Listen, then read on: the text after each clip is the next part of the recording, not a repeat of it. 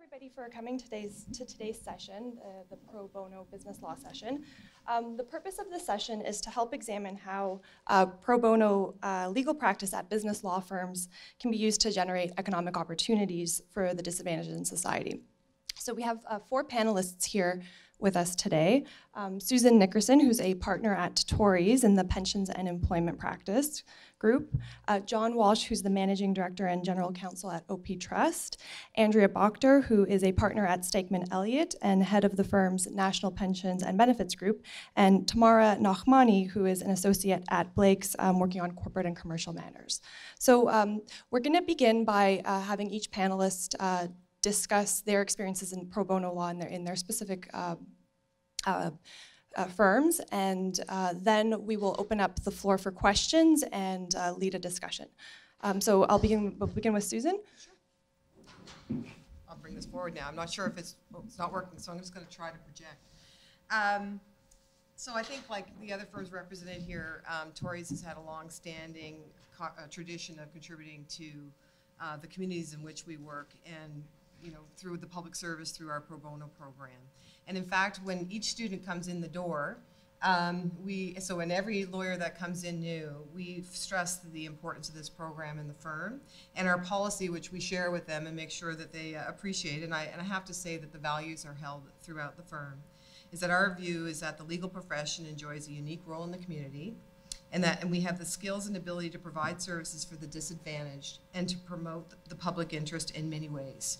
And to that end, the firm believes that the provision of legal services on a pro bono basis is a vital element of every lawyer's professional responsibility. So that is the, um, the view that we hold and that we share um, with every lawyer that um, comes into Torys. So we believe it also gives us a unique opportunity to partner with um, our clients as well, who are also, as you're seeing more and more, you're seeing corporate, um, big corporations that are involved in their communities, and, and we obviously like to help them with that as well. Um, in addition, we also encourage our lawyers to get involved in, the, in so not directly necessarily in, in providing legal services, but we, we're very much encouraging people to get involved in organizations, not-for-profits, and, um, and make a contribution there as well.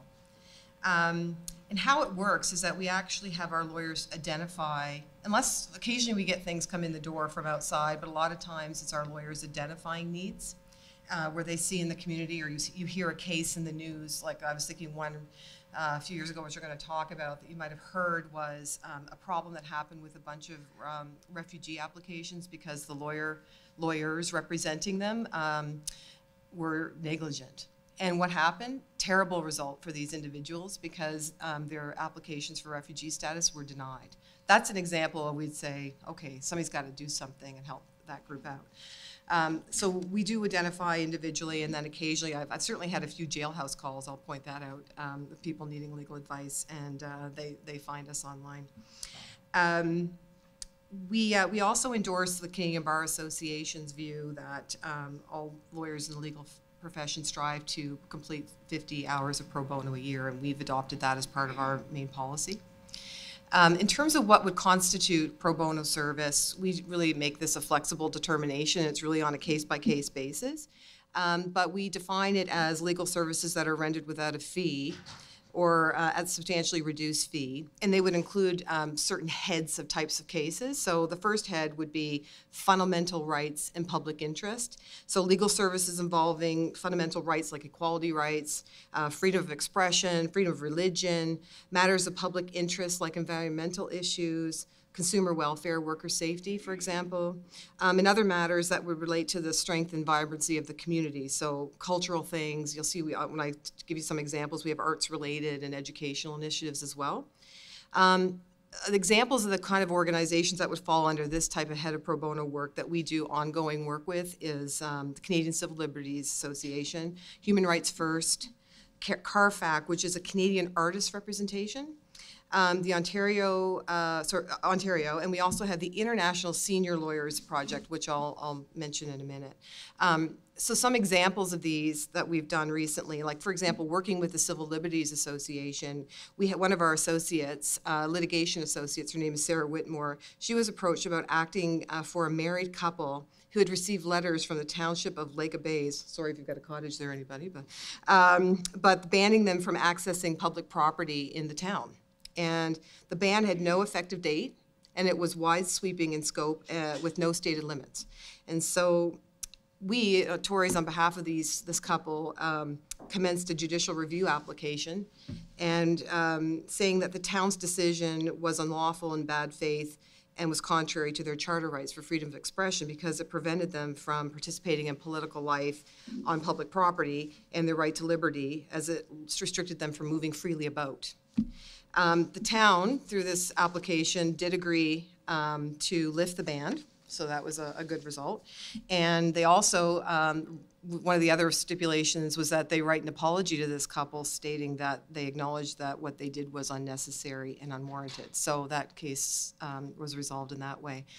Another example uh, in this category of fundamental rights and public interest, um, Sheila Block, if anyone knows litigators in Canada, she's uh, one of the best, I'd have to say. I'm, obviously, I'm biased because she's at my place. Um, but she's a person who's been involved in a lot of these important projects. So she um, has developed a close relationship with the International Human Rights Program at the U of T through um, its initiative in ending immigration detention for children in Canada. So this is a, a major issue uh, right now. So in October, the, pro- the program launched its report um, through our offices, and our, in our pro bono work, we've been involved in various litigation initiatives regarding the detention of children, individual children, at the Toronto Immigration Holding Center. And so that work is ongoing, um, and we will continue to work in that area. And then in terms of that senior, international senior um, council or senior lawyers initiative, this is an interesting one as well. And one of our senior, senior lawyers, Bill Esty, I think he's in his late 60s now. The, what this program does is it identifies lawyers around the world. Mainly, I think they're mainly coming from Canada and the United States to help out uh, countries that need help around the world. And so Bill has been working with Liberia. Um, he's been going for month-long periods uh, since 2010 because um, he's been working for the Ministry of Commerce and Industry in Liberia. And the idea is that they are trying to join the World Trade Organization. And in order to do that, they have to draft and revise their laws in order to be compliant with the WTO standards and principles. So Bill has been over there since 2010, and he's helped draft the Competition Act, the Foreign Trade Act, the Small Business Development Act, and other business law statutes, and a huge number of regulations, he would say. Um, and this initiative has been co-founded for his participation by Torys and by that uh, International Senior Lawyers Program. So um, that's, that's us going beyond our borders and trying to assist a country and, and kind of getting ahead. The other area we focus on is poverty law, um, and that's with providing legal services um, to clients who would have no means to be able to represent themselves and uh, for which there's no legal aid available. Um, and in that regard, we're currently working with that group of refugees um, that I mentioned earlier um, and trying to bring an application that would represent the group. Uh, and as you know, the, the, Law Society Tribunal found that these lawyers were negligent, and um, approximately 99% of these claims, 900 claims, failed, and so four to 5,000 people were impacted by this. So our goal is to take a small representative group of these forward um, and represent them in order to set a precedent to hopefully uh, address the rest of the, the claims in this. This is an ongoing matter as well. Um, but to us, it's uh, so important in light of uh, the mistreatment that these people had and how you know the dire consequences that it's had uh, for in their lives. So that's uh, an example in that area. And then we also represent charitable and nonprofit organizations in providing legal services there. And this is where our corporate people come in handy. Um, and we've had a lot of um, projects assisting um, them in updating their bylaws and their corporate documents as nonprofits in order to comply and continue to get their tax status. So examples would be um, Frontiers, uh, which is a First Nations organization. We've also assisted in um, uh, uh, International Medical Organization, which many of you probably know, uh, and helping them get their um, documents in order. And so there was a fair amount of that work actually a few years ago where the corporate laws were changing in this regard. Um, and so um, that's something we, we do wherever we can. Um, in terms of the criteria for, for actually approving an application, you know, we want a diversity of matters, you know, so that we can work on many different things in this area. We have a requirement that every, par- there has to be a partner supervise every one of these files. Uh, we don't force anyone to do any of them, by the way. It's all voluntary. So um, we bring, we have students involved straight up to partners. And um, we also look to kind of broaden the opportunities of our people to get to work for clients they might not otherwise get a chance to work for. Um, and then, of course, we have to follow our regular conflict of interest policies. And then we do an evaluation overall as to whether this um, fits within our program and, and uh, wouldn't have a reputational concern for us. So, in that regard, we don't take any pro bono matters which involve matrimonial cases or personal injury cases, criminal matters, or any disputes between rival groups trying to take over an organization. That's one we don't step into, as you can imagine. Um, in terms of our stats, in 2014, we had 191 of our lawyers, clerks, and assistants work on 145 different matters in one year, and it represented about 2.7 million dollars in legal services. And in 2015, we had 154 matters, and the total was at 6,000 hours. Uh, and we had uh, about 3 million in, in worth of wo- work. And then last year we had 131 active files, 135 lawyers, 22 students. Um, and uh, we had about 5,900 hours in that. So just to give you a feel for the scope. So um, that's sort of an overview of our shop. I'm sure you're going to hear di- different views, but uh, hopefully in a similar manner, the type of work other firms are doing in this area. Go ahead. Uh, who's next? Can't remember. I was lost. All right. Thanks, Susan. I think that was also a, a really great introduction to what is, you know, pro bono law generally. So uh, obviously, I think with that, I will just comment on what Stikeman Elliott does. And it's great to see you guys are so you know, prolific about it. It's uh, fantastic that uh, you, do, you do so much. At, at Stikeman, our, our approach is a little bit different. We have, um, I, I'm co-chair of the um, Community Involvement and um, Grassroots Initiatives Committee. It's one committee, and it, the, the idea of housing both those things in one committee is that it, it- we are the committee that deals with, uh, you know, sort of firm resources and volunteering time or firm, or firm, uh, or money to, um, to charitable causes. Um, and uh, what we do as a committee, uh, is, is four things. Um, people can bring their grassroots initiatives, you know, if, if uh, there's a, a champion within the firm who uh, has a cause, um, they will bring it to our committee for funding. Um, a lot of, a lot of the, um, grassroots initiatives are, you know, runs or walks or, or things of that nature. Um, we have one, um, member of the firm who is very passionate about Cana- uh, Canadian Blood Services, and it's been an ongoing mandate within, or an ongoing, um, initiative of hers and within the firm to, um, you know, promote donating blood and all of that, uh, you know, that. So she, we would approve that mandate and she would be able to um, solicit uh, amongst her colleagues to come and, and give blood and we, you know, give her a budget for advertising all of that uh, in order to, to uh, gain momentum for her cause. And, and so we, we do a lot of that. Um, in, in uh, last year, we had, um, actually over 70 uh, different causes that individuals at the firm were championing, and and uh, that was uh, that came through our committee. Um, the other thing we do is we match donations for volunteer work. Um, uh, we want all of the uh, members of our firm, staff, and lawyers to be involved in the community. So, um, if you volunteer for a cause, uh, we'll pay you, or your charity, I should say, 20 bucks an hour for your time, up to 600 bucks a year, um, and that's for everybody at the firm other than partners. We also match donations um, for people who sit on charitable boards. So if you're on the board of a, of a, of a charity, then uh, whatever you donate will match up to $5,000 uh, or 5%, the lesser of $5,000 or 5% of the, um, the, the budget of the charity every year. Um, and then we also do pro bono uh, legal advice for charitable organizations. Um, we don't have um, quite as broad a mandate as, as Susan's committee, so we don't have specific uh, areas of law that we target. Um, what we do is uh, individual members of the firm will have a charity that is near and dear to them, and they will come to the committee and say, I'd like to offer Stikeman services. This is what they need. Uh, and we will evaluate um, the ask and uh, approve it uh, if it's appropriate.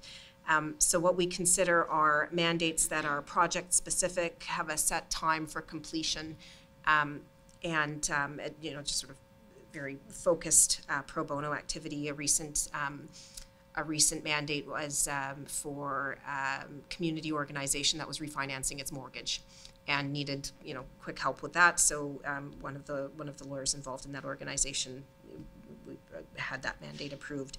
The other type of mandates we approve are mandates of longer duration, um, and we approve them for sort of three-year terms that are renewable. So, uh, for example, we've acted um, for Plan Canada doing all sorts of things for the last many, many years, and it's just a renewable mandate that comes before our committee, and we renew it every three years. Um, and uh, that's one of the one of the more long-standing initiatives of the of the committee. Um, and and I should say of one of the members of our firm whose um, cause, uh, who for whom Plan Canada is very near and dear. Um, another um, pro bono activity that we do at the firm that is actually probably our, our biggest um, single item of pro bono is the Osgoode Business Clinic. And I don't know if any of you are involved in that, but it's, um, it's one of our more significant um, pro bono mandates. It's, the Osgoode Business Clinic is the longest standing law school business clinic in Canada, as far as we know someone can prove me wrong.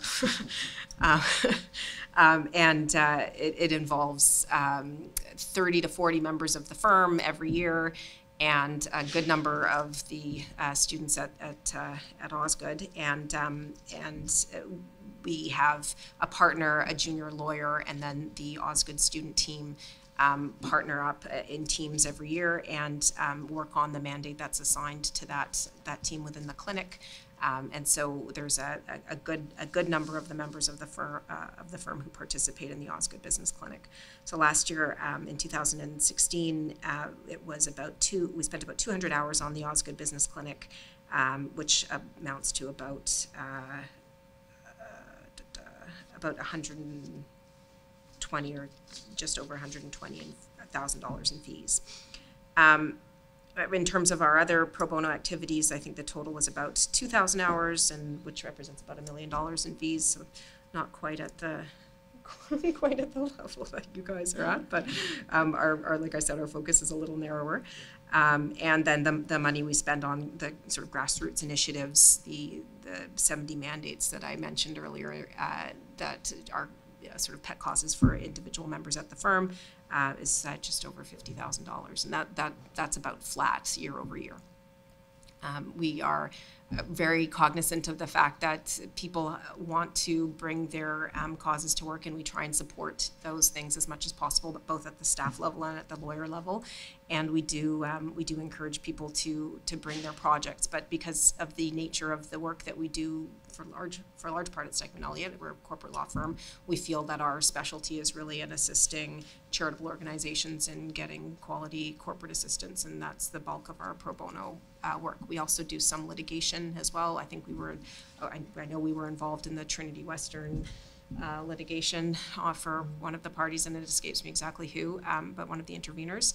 Um, and uh, and that was something that took a, a significant amount of time um, a, a little while ago. Um, and, uh, and and so we will do those one-off litigation mandates as well. Um, that's it. Um, so John, I'm gonna ask you to. Can I just ask if you can move the microphone? Oh, sure. closer Oh, they don't. Oh. Because it's, yeah, it's, and it's also being recorded, so. Oh, I see. Oh, sorry. Well, I'm not talking anymore, so I'm done. Yeah, I'm, I'm happy to go next. First of all, um, uh, thanks for uh, having me here. It's been 20 years since I graduated from Osgoode, and this is my first time back. So I'm, uh, I'm delighted to be here. We were saying earlier, there's no reason why I haven't been back. It's just I haven't been asked, and there wasn't a reason to. So I, I'm glad to actually get a chance to uh, to just walk around and see what an incredible uh, changes have uh, gone on here. Uh, it's a little bit intimidating to be here with my fellow panelists in that uh, I'm not here to walk you through um, the uh, incredible work uh, like they have done at OP Trust. I could do that. Our, our pension fund is very active in the community, especially in the community in which our office is located next to in Regent Park. Lots of good initiatives there. But uh, my presentation is a little bit off the beaten track and is just a bit of a different way to think about being a lawyer and involving yourself in the community in a volunteer way. Um, and it's a more personal story, but it's one that I think, um, I, and, I, and I often encourage people to think about uh, in terms of as they build their careers, whether it be in law or other professions, that uh, finding something that you're passionate about outside of what you do uh, to pay your mortgage um, is, to me, and has been for me, an extremely meaningful part of my career. And I'll, I'll intertwine those thoughts uh, in a second. Just by way of background, I am a lawyer. I, uh, I was uh, an infrastructure investor for about eight and a half years, but um, they've drawn me back into a, a legal role, and I am the general counsel of one of Ontario's pension funds. I did uh, graduate here, as I said, and I practiced, summered, articled, and practiced at Davies, uh, and then at, uh, at Osler, and then, as I said, moved into um, an investing role. Um, and my legal training that I received here has been a part of everything that I've done, whether uh, strictly speaking or um, just the way in which uh, learning here at an institution like this uh, affects the way you approach what you do. My passion that I discovered uh, in university was uh, partisan politics. And uh, whether or not um, you have come across what that life looks like, um, it's something that I became passionate about. I actually worked in politics as, in a paid way uh, for a few years um, while finishing school, both in Washington and in, in Ottawa, which was a, a ter- terrific experience. But what I'm here to talk about is uh, in the last 25 years, I've uh, worked in an unpaid way uh, in, in politics. It's a way in which I found my passion uh, to meet what I believe is public service. And it's something that I think that I would certainly advocate to all people, whatever your political persuasion is, that there is an active role in the public square for us as lawyers especially. And it, it, it, there's a reason why every politician that you love to hate uh, is a lawyer. Um, there's a lot of us uh, who find ourselves involved in politics, and not just in the uh, at the front of the room, in front of the camera, but also behind the scenes. Just by way of background, so that I can give context to what I'm trying to say. Um, when I came to Toronto to go to law school, I decided I needed to put politics on the back burner and focus on my career. And, uh, and figure out uh, how to earn a living after 17 million Canadians had voted me and every other uh, progressive conservative out of office in 1993. And uh, when I uh, started practicing law, what I found very quickly was that whereas I really liked what I was doing and I was energized to get up in the morning and, and be a lawyer, I wasn't as passionate about it as I was when I was working in politics. It just didn't strike me in the same way. And so um, I wasn't prepared to go back to doing that full time or in a work capacity.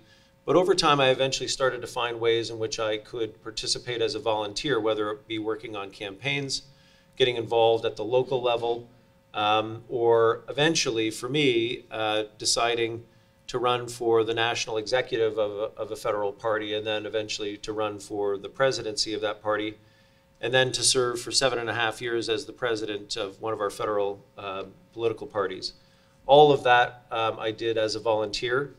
Uh, and I'm quite adamant about the fact that I think that it's better to do those things as a volunteer. Some of my colleagues in other parties and even in my own party have been in those roles in a paid capacity, but I think it's different when you uh, when you take something you're passionate about and you believe in and you believe is public service to do that as a volunteer to me I think allows you the freedom uh, to express yourself in a way that you might not do so if it's where you're uh, drawing your paycheck and, and how you're, you're uh, um, um, affording the rest of your life. A couple of thoughts about what I learned from those experiences. Uh, one is wherever you end up working, whether it's in a law firm or elsewhere, you'll be surprised at how, um, how open your employer will likely be to the idea of you being involved in whatever it is, whether it's your local uh, community food bank, whether it's uh, charitable organizations, or whether it's something um, more along the lines of what I did politically. Uh, when I was at Osler, I um, was asked, uh, when, if you remember when Jim Flaherty was the Minister of Finance in Ontario and he decided he wanted to run for leader against Ernie Eves, he asked me to come and uh, work at finance because his finance team had all taken leaves and gone to work on the campaign. And so I approached Clay Horner, who's the chairman of the firm at the time, and I said, look, I'm, I'd only been at Osler for about nine months. I said, I'm assuming you're going to say no to this, but I said I would ask, so I'm just asking. I won't be offended. But I'm wondering about a secondment to the Ministry of Finance for six months, um, which really didn't offer Osler anything. I mean, I was a junior lawyer. Whatever I was going to do there was of no real benefit to the economic uh, fortunes of that partnership, but he agreed uh, very quickly.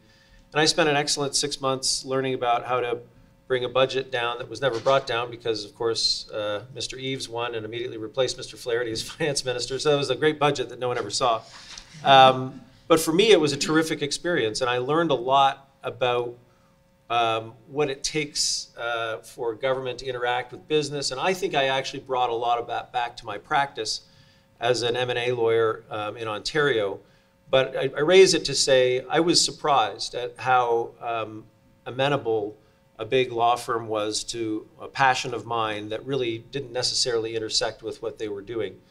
The second example I'd give is the one um, uh, uh, in my current employer. So I a jointly sponsored public pension fund is an interesting animal. Um, uh, if you know anything about them, uh, half of our board of trustees is appointed by the government of Ontario, and half of the board is appointed by OPSEU, the public sector union, um, which is an interesting arrangement since they are routinely at each other's throats negotiating uh, long-term labor contracts. They appoint 10 people to get together that are supposed to get along and run a run a pension fund, and they do that very successfully.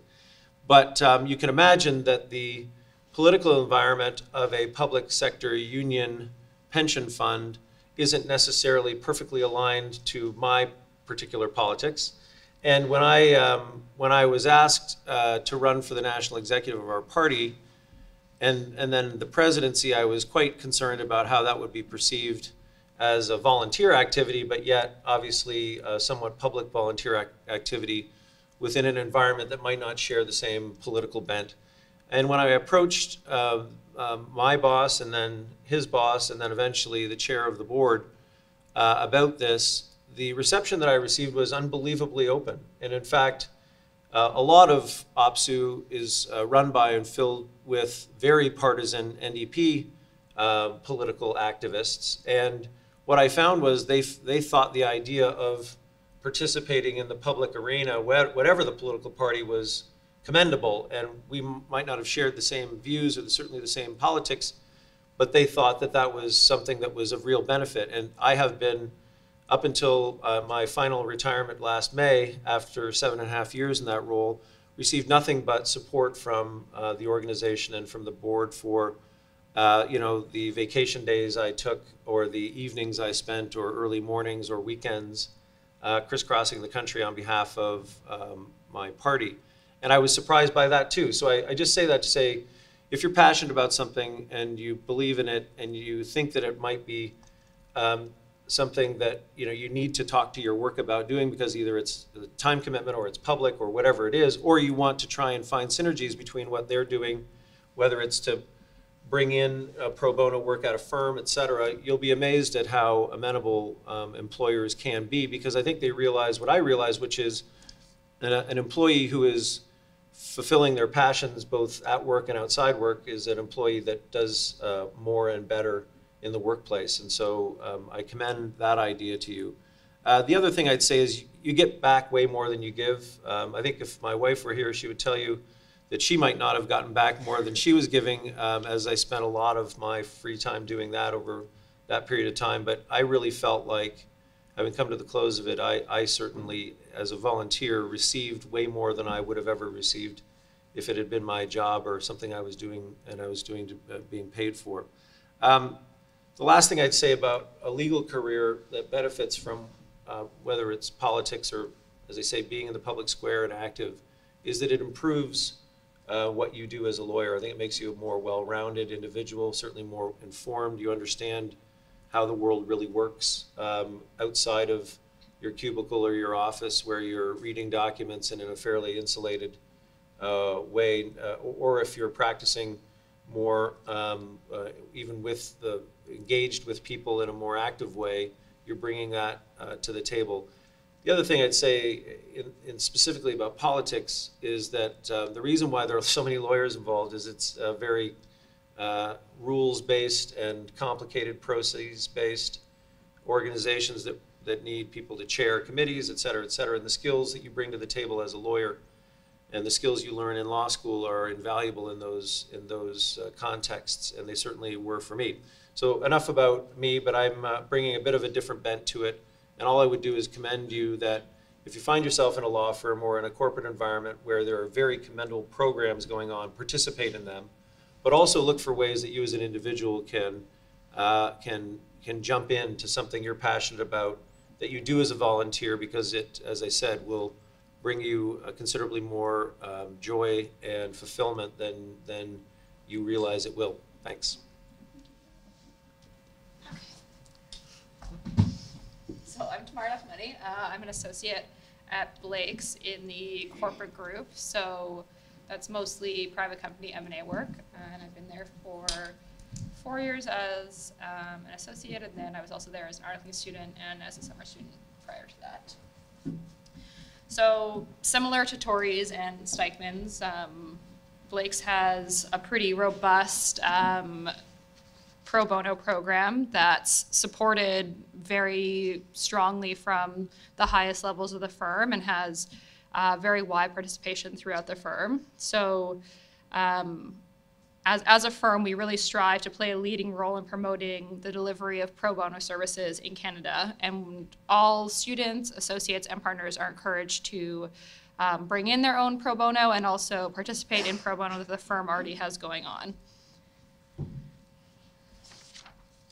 So, tone from the top, um, we have a very strong support of the pro bono program, as it sounds like other firms do as well. We have a uh, pro bono committee that is um, associated with our executive committee, and they their responsibility is monitoring the program and also sourcing um, different pro bono opportunities and um, providing support to people in the firm who are interested in bringing their own opportunities in, and then evaluating them once they're brought in. Um, and we were one of the first firms, uh, national firms in Canada, to, to, adopt a formal policy. So, um, like many other firms, uh, time spent on pro bono is hour to hour counted as uh, billable hours to your target as an associate and as a partner. So we recognize 150 hours um, without question, and then above 150, uh, you can be recognized for that as well. Usually there's kind of a discussion of is this the best use of your time? And if, if it's a really great program, then uh, those hours can also be recognized towards your billable target. Um, and we're, our committee also is constantly seeking out different ways to bring in uh, pro bono opportunities. So I'll talk a bit further about that uh, later on about the different um, organizations we work with that help source different pro bono activities for us as well. Uh, and we also know that CSR um, and pro bono really matters to our clients and a lot of the big institutional um, clients. that we have banks and things like that also have very strong interest in pro bono. So we know that that's important to them, and it's one of the reasons it's important to us as well. Aside from the fact that it's our duty, as Susan was saying, as lawyers to give back to the community that we're coming from. And so the widespread uh, support is that anyone and everyone is encouraged to bring forward pro bono projects, including students in the firm and associates and partners all the way through. Um, clerks are also encouraged and support staff as well. So anyone in the firm who has a project they think is um, something that the firm would be interested in working on is welcome to bring it forward, and then it goes through the process to determine whether it's um, appropriate. And I was speaking with our one of the um, head of the pro bono committee, and he said that about 99% of things that are brought to us uh, are approved. It's really just a matter of conflicts of interest. Um, and again, like marital disputes or things like that, that the firm wouldn't really want to get involved in. It's not, it's not, that's not the basis of our pro bono program. It's more about, you know, helping society as a whole as opposed to helping an individual in their marriage dispute. um, and um, as a general note, we, we seek to highlight projects and build long-term relationships with organizations.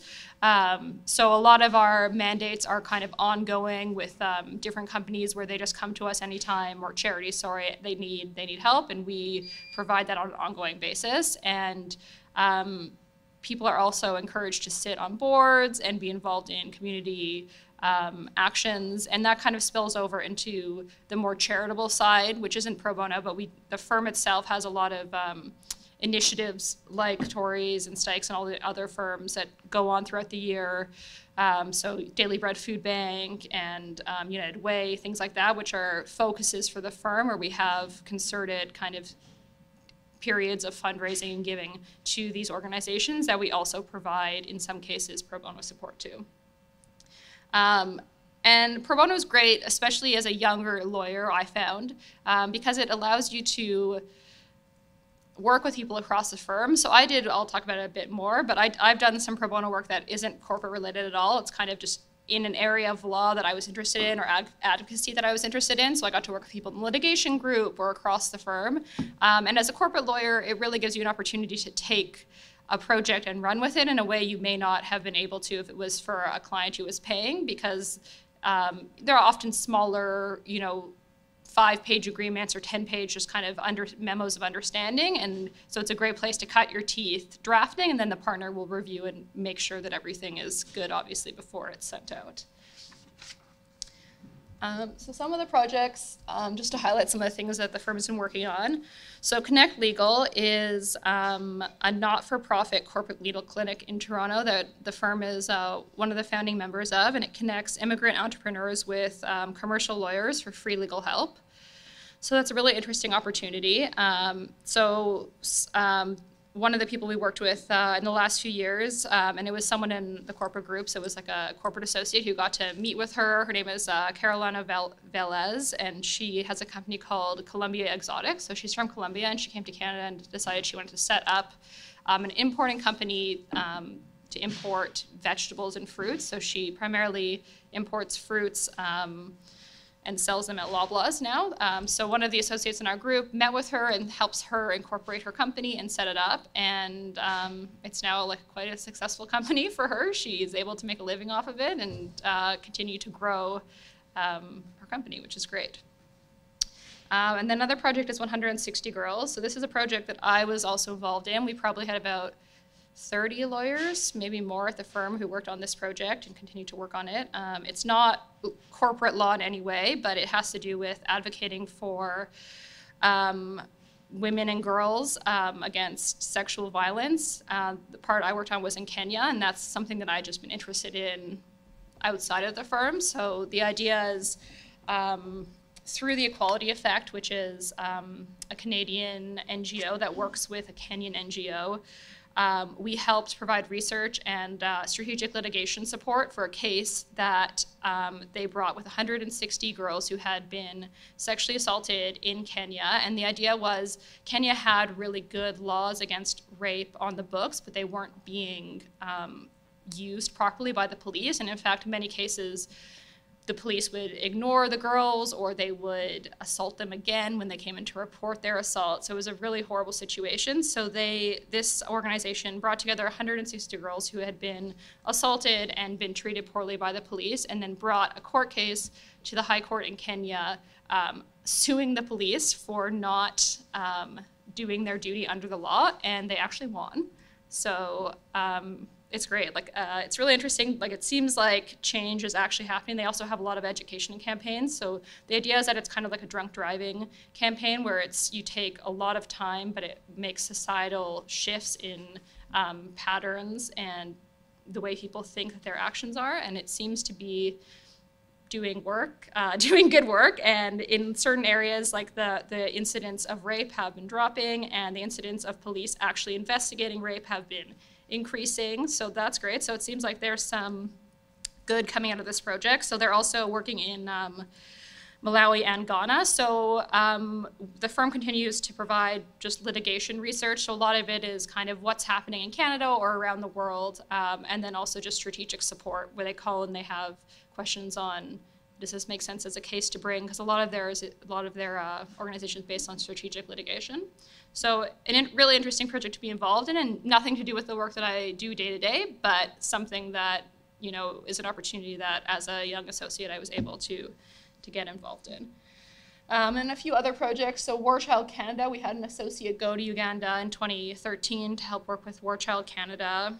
Um, Boost is a Canadian organization against um, about committed to eliminating abuse and violence against um, children. So they have a clinic that we helped set up, and we had an associate sitting on their board for a number of years. And our head of marketing um, is actually one of the event planners who does their kind of big event every year that raises a lot of money. So um, we provide them both pro bono support, and then also people are using their free time to volunteer with them.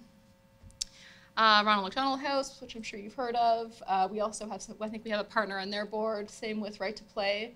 And then ABC Life Literacy is kind of more corporate um, work that I've done for them. Is they have, you know, um, an advertising firm who's going to help them, uh, um, like advertise their their literacy day that happens every year. So just creating kind of simple template agreements for them to use with the people who help them promote the events they do on a regular basis.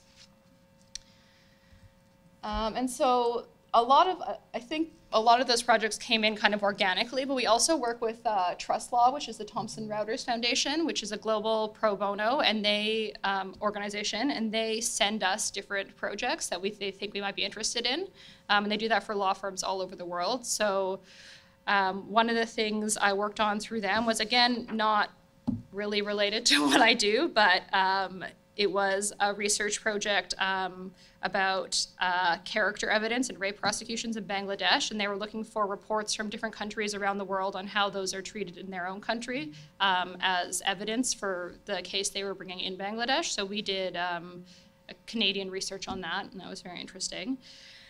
Um, and then Pro Bono Students Canada uh, and Pro Bono Law Ontario and PilNet also help source different pro bono for us.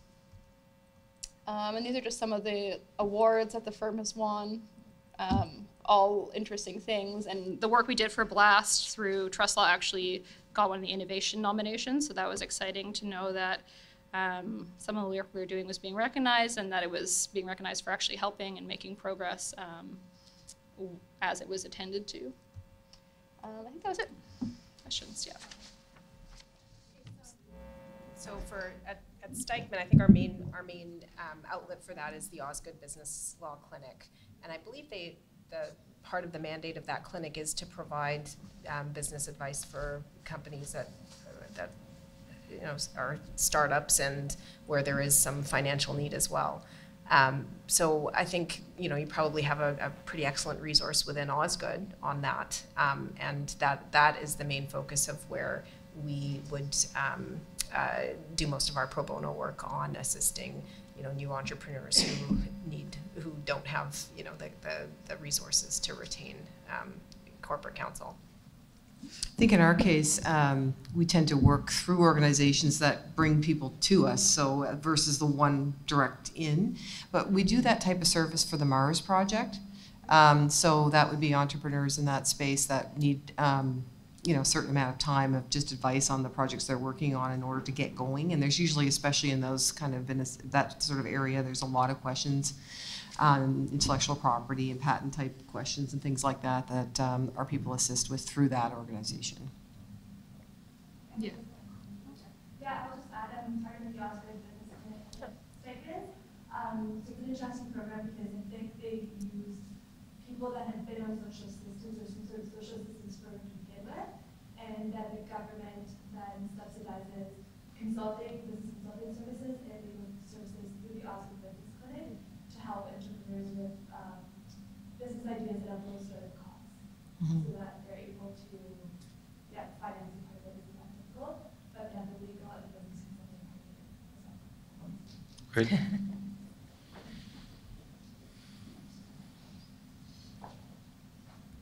Um, I, my question is kind of a little different. Um, I work with a group, um, back at started group, uh, the Administrative Justice Support Network. And what we do is support, uh, people who have intellectual disabilities make appeals for administrative tribunals, uh, primarily without lawyers, because most of them can't afford lawyers. And so we're trying to equal the playing field. But I was intrigued to hear, um, you talked about, and I'm sorry about my reading, that's because I'm talking and reading at the same time. Um,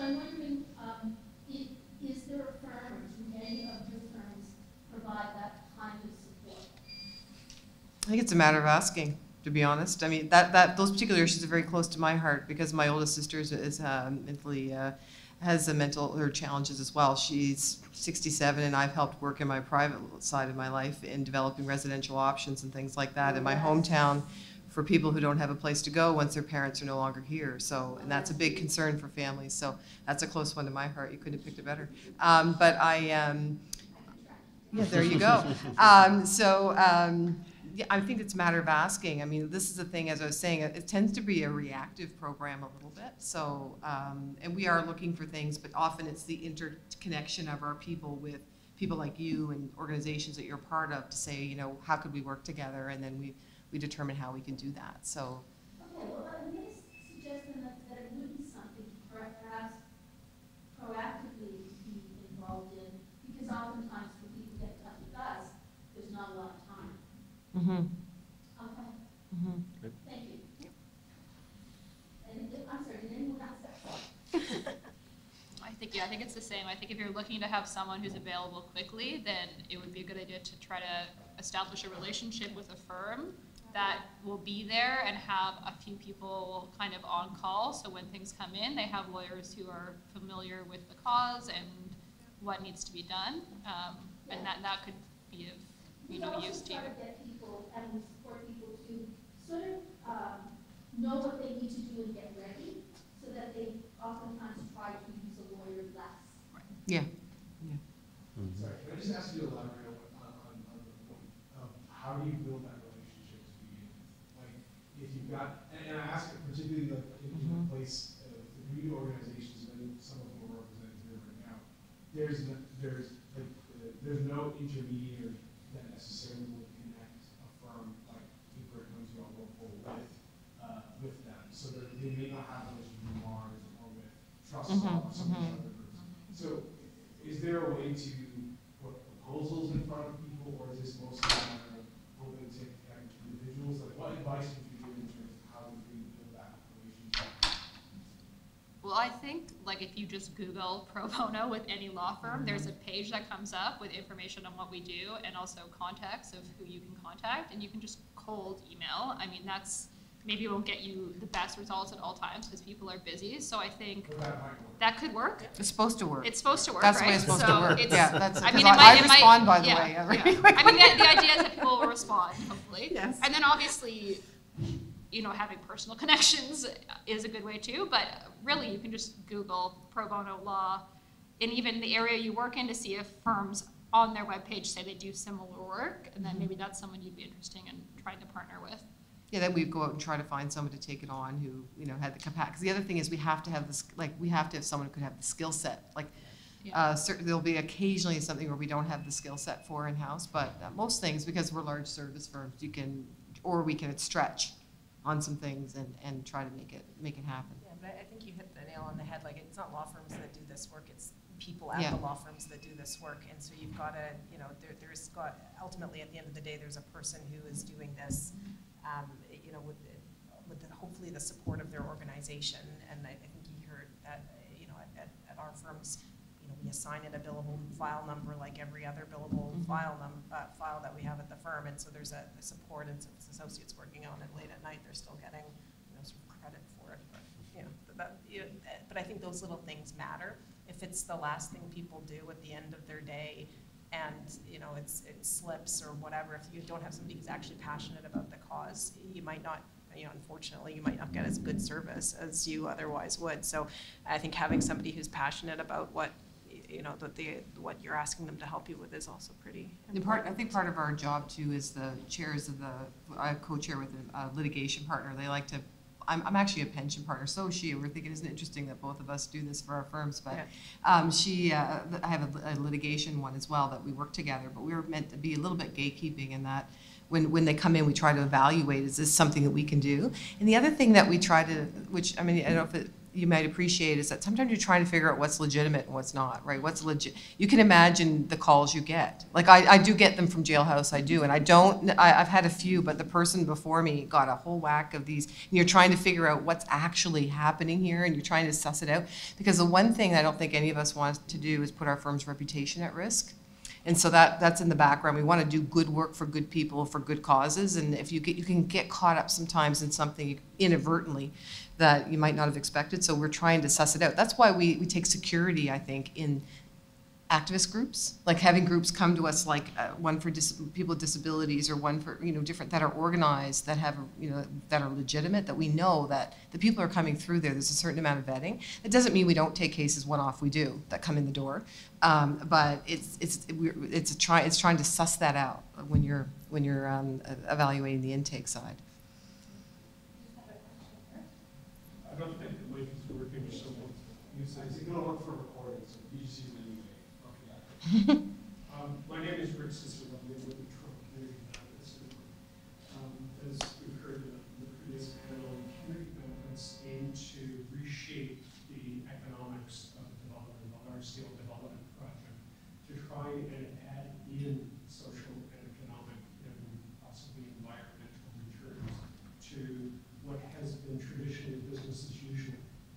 Um, So for the contractor, for the business industry, um, this is a change. This is not business as usual.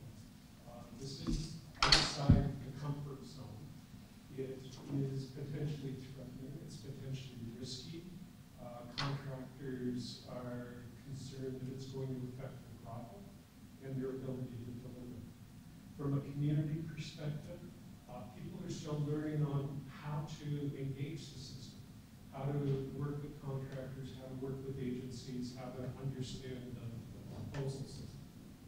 So I guess my question, your panel, is where is the line between us approaching the pro bono system and us- us approaching the legal community to try and get involved in helping make this a collaboration as opposed to a confrontation?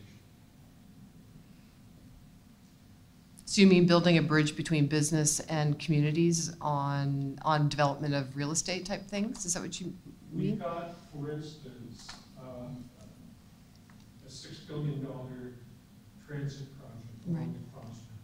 Mhm. We've worked with Metrolinx as the delivery agency. We've got language into the RFP process on community benefits. Mhm. We've got the general contractor, which is a consortium of three of the largest builders in, uh, in Canada, um, working, saying community benefits. But the agreement on delivery doesn't have clear commitments. It's got aspirations. Mhm. And our question on this one is how do we move this forward collaboratively when there's contracts for delivery on the table that a lot of legal implications are going to get in the way of? How do we move this into being able to identify clear targets and identify accountability in ways that the targets aren't met? People get held Mhm. I, I actually think, you know, as opposed to actual, it doesn't sound like an exact uh, fit for legal services, but I look to John because it strikes me as quite political and Well, there's a I- political component to Yeah. trying to get governments to step in. I can actually bring uh, kind of my day job experience to bear. We, as, as a pension fund, we're really, uh, in addition to delivering pensions to pensioners, we're an investor and we have uh, multiple billions of dollars invested uh, around the world in infrastructure and real estate, uh, as an example. And so we are often uh, the investors behind the builders building projects like the one you referred to. And I, I don't, I don't think I have specific advice for you, but uh, in general, what I would say is the environment is changing in this regard, and I'm delighted to hear of the work that you're doing. When I first started working in this space, there was a very reluctant acceptance that whether it be responsible investing and and an approach, a more a more wholesome approach or, or, or broad approach to investing that wasn't just bottom line driven was starting to be accepted, but kind of with people holding their nose on it. I think what you, you're finding more and more now, we're certainly finding, and we're pushing from a public pension standpoint because we're a unique type of investor, is that when you pay attention to the issues you identify and not just uh, the, the, the profit and loss of a particular project, that you end up approaching investing in a, in a, in a better way, and, and the results actually, over a long period of time, are improved when you're paying attention to non-traditional, more socially oriented uh, aspects of, develop, of development projects. But uh, there's a long way to go, and so your specific question as to how do you how do you make these types of things more binding, um, just in the same way that you know traditional legal terms are binding. That's going to be a tough bridge to cross. I think we're a lot closer to it now than we were. But where you're going to find, um, and I'm not saying that this is right or wrong, it's just the reality, that whether it's a public uh, corporation or in our instance, a pension fund with a fiduciary duty to its pensioners, uh, you're never going to get people to say, we will forego, um, we will forego the purpose of what we're doing, which is to try and, in our case, raise money to pay pensions, to do something outside of that when you're developing a project. But where we are getting to is people recognizing that those two things aren't mutually exclusive, uh, and that in fact, one could be a driver and a benefit to the other. And that thinking is changing, but the, the, the Rubicon that you're trying to cross into making those things binding is difficult because it does bump up against uh, and it forces people into a, a, a decision about whether they think that's actually the purpose of their organization. So uh, it's not a very it's not a very fulfilling answer, I'm sure, but I, I do think that it is becoming uh, much more accepted that the concepts that you're talking about need to be addressed when you're investing. Just a supplemental, because that was very helpful pro bono advice. Um, I don't have a target. I should work at one of your firms. I'd be getting an hour right there. We're trying to shift the understanding. Yeah. of development, Yeah. Because realistically, the communities that we're working with, the priority neighborhoods, the equity communities, are up against the wall. Yeah. And we're trying to generate ways of addressing issues within those communities and building a place of equality. Mm-hmm. So that people see that they're part of Mhm. not Mm-hmm. We had, we, yeah, yeah.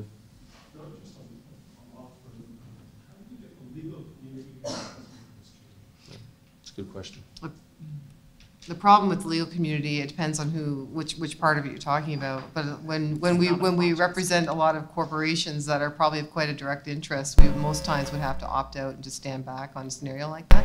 But that doesn't mean that there aren't other firms with different um, client representation that wouldn't be interested in getting involved in something like that. It's more finding the areas of practice and the type of client that this particular firm or lawyer would normally have and whether it aligns with what you're trying to do and see if you can work together in bringing them in, into your organization, sort of like what John's been saying, what the role that you can play, that they could play uh, on your board or, or part of your organization, um, and you know, rolling up their sleeves to do something with you.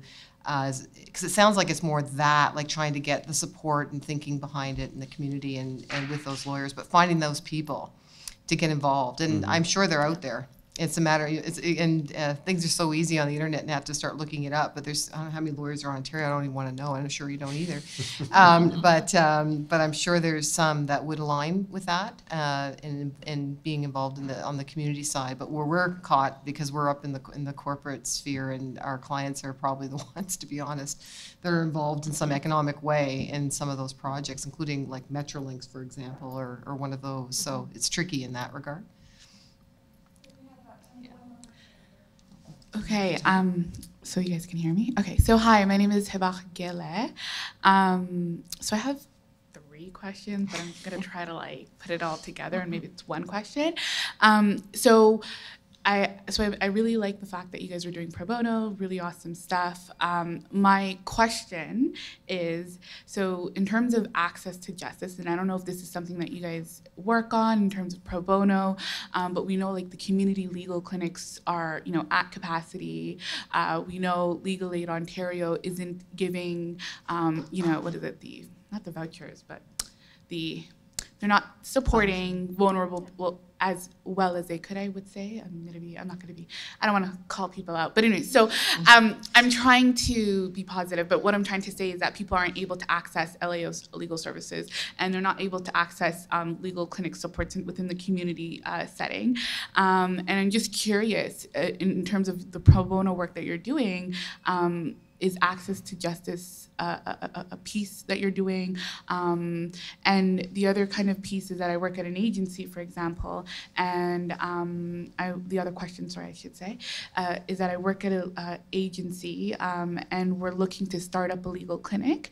Um, and so I think the avenue is to go on um, a website, like any search firms, and is that the traditional way of how you would um, try to get pro bono um, support? I think that's my second question. And then my third question, I can't remember it. I'm not being very clear, but essentially access to justice, if you guys can comment on that. And then the second piece is if we're trying to start up a legal clinic for very vulnerable um, members of our society, um, immigrants and newcomers, how can we go about doing that? And is that something larger firms do, or is it just, you know, time-based, project-based um, work?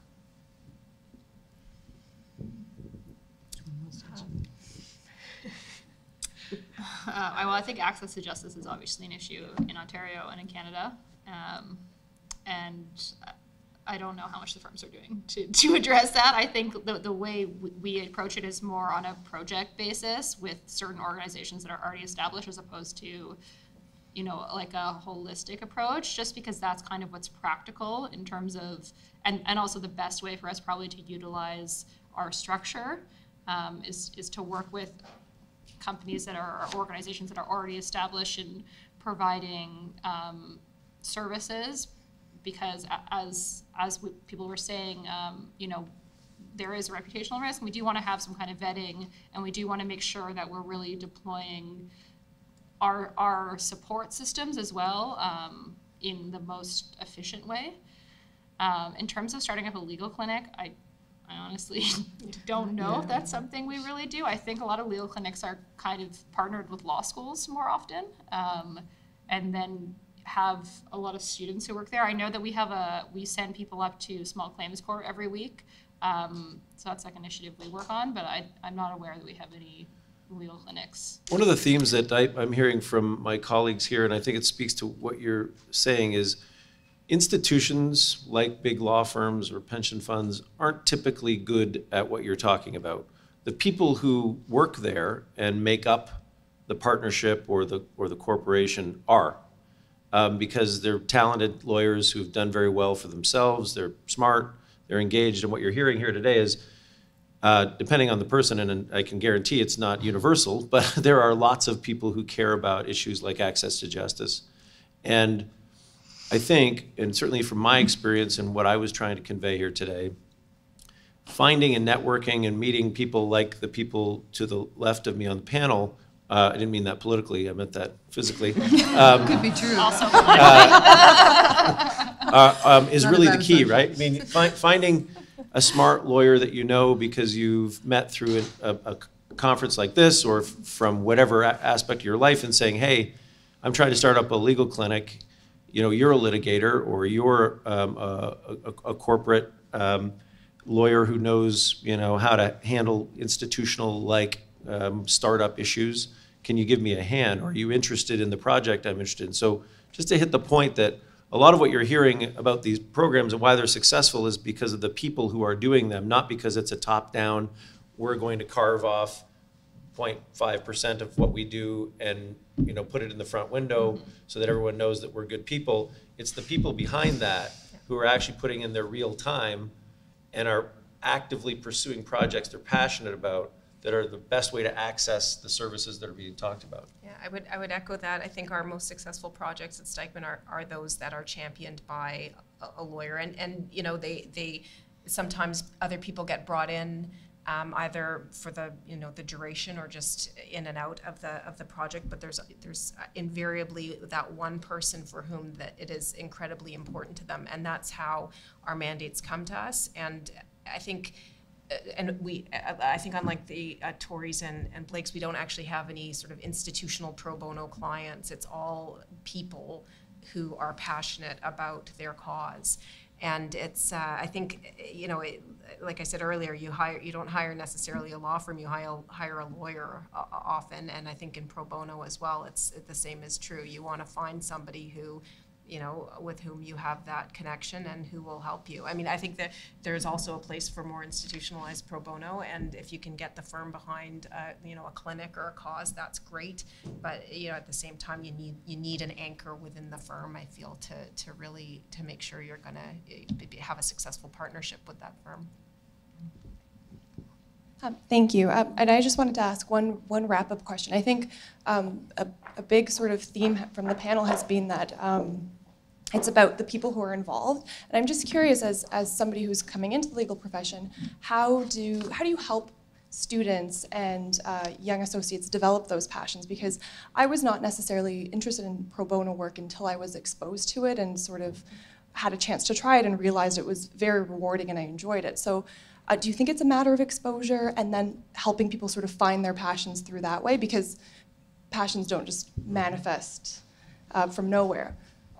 I think is one of our most popular programs with our students. I feel it's like I find students coming out of law school today are pretty connected to their communities and interested in this. So when I present, or Andrew Gray, my partner, we always present to students coming in at the summer student or um, articling point and both. And we um, talk about our program. We talk about the kind of things they could get involved in right now because we have certain uh, programs that we do on an ongoing basis. And we, um, and often, like I've had a few come in the last summer where um, it was appropriate to bring a student into that. And then we will solicit, you know, who's interested in this one. Um, and so there's, um, but I, I do find that students have now, I mean, maybe it's coming out, um, quite an interest in this. So it's more like, you know, can I get enough opportunities for every, everybody is sort of what I'm going to be looking for. Yeah, and I think there, especially in, on like the research side, there's a lot of great opportunities for students because students are really good at researching in a way that lawyers are not anymore. Because we don't, we don't do it even like four years out. I remember when I was a student, like lawyers would be like, "Oh, I don't have any of my passwords. Like I can't get onto Westlaw." And I'd be like, "That's crazy." And now I'm like, "I don't have any of my passwords." so I think like that's a really good opportunity for students. And I and I know like from my personal experience, I came into the firm knowing I was interested in certain things. Um, so especially like women's rights and women's advocacy. So I kind of made that known. I talked to certain people and said, if there are projects that touch on this, I'm interested in being involved. So when they came in, they would email and say, Is are you interested in being involved? Um, and then um, just like in the corporate group itself, we often just have partners who have things come in and they just send out emails saying, you know, have this project, who's interested? And then once you start working with a certain pro bono client, you often become a, have a relationship with them and continue to, to work with them. So it's kind of both both ways. One of the things I, I would encourage uh, all um, people coming into the profession, and one of the things I mentioned when I was giving my presentation was ask. You know, you, when you do develop a passion and you think, hey, I, I might be interested in this, whatever the work environment you're in, whether it's in a law firm or you're a lawyer at a corporation, you'd be surprised at the the answers you get if you say, hey, I'm passionate about this. I'm not asking to stop doing my job, but in addition, I'd like to offer my services in, in, a, in a way within the community that I'm passionate about it. It might infringe here or there, or I'm going to have this associated with my name. I think you'll find uh, a tremendous uh, willingness in a lot of places uh, to help people embrace their passions because I think people are figuring out in the modern workplace that that makes a better employee and a better partner um, uh, to have doing their day job if they're combining it with their passions. Thank you. So thank you all for your participation. Um, and uh, if, uh, I'd like to thank the panel as well for, for a very um, interesting session. Um, we could just give them a round of applause.